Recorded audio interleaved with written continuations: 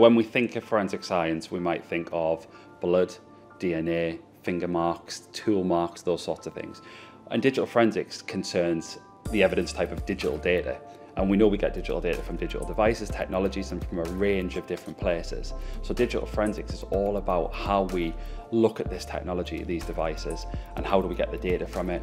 How do we understand that data? How do we interpret it? And how do we communicate it in a way that makes it understandable for those that need to rely upon this information from these devices if we believe they've been involved in a particular incident or an, an offence, for example. 2024, they're estimating that 99% of households will have at least one mobile phone. The vast majority of households have at least one computer or tablet, and so much activity is now being conducted online or with computers that simply wouldn't have been possible 30 years ago. Uh, it just means that, that there is more more human activity um, is being conducted online or on computers, which means that there is a, a, an opportunity for digital forensics to capture criminal activity. Um, and it's only going to get more so as, as we integrate all our everyday systems and devices, um, for example, the Internet of Things and, and, and sort of the, the uh, integrated wireless home becomes more of a thing. The opportunities for evidential information being collected from those environments is just growing exponentially. So it, it's something that's just going to get more important as time goes on.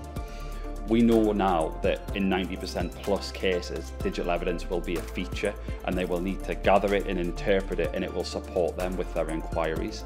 So digital forensics for law enforcement is a crucial, important aspect of their ability to investigate crime. But it's not just the public sector where digital forensics has a role.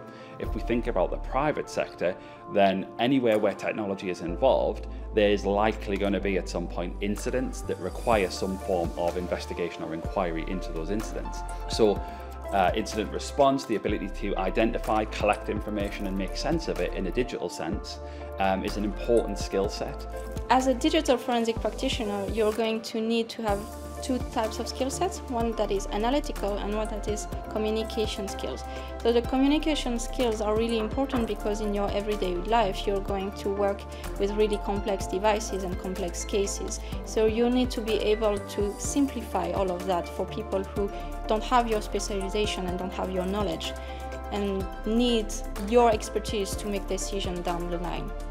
So we recognise that the field of digital forensics is moving at a fast pace. It concerns technology and technology developments are happening all of the time. There is a need for continued professional development within the field of digital forensics. You just cannot stand still because technology and its capability will surpass you in that process.